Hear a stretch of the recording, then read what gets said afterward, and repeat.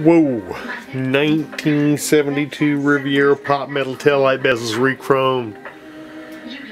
Wow, my guys did a good job on those. Aren't those beautiful?